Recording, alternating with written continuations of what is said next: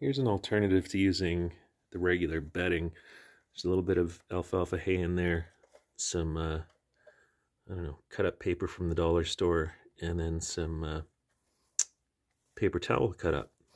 So as you can see, Grifty really loves this. He loves getting into the cage as soon as I've cleaned it. He wants to see what's going on. Lick the water off where I've cleaned things. there we go.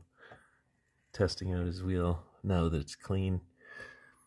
So uh, this is just a little, I don't know, brief overview on what you can do if you uh, need to clean a cage often, save a few bucks. You don't have to buy the expensive bedding.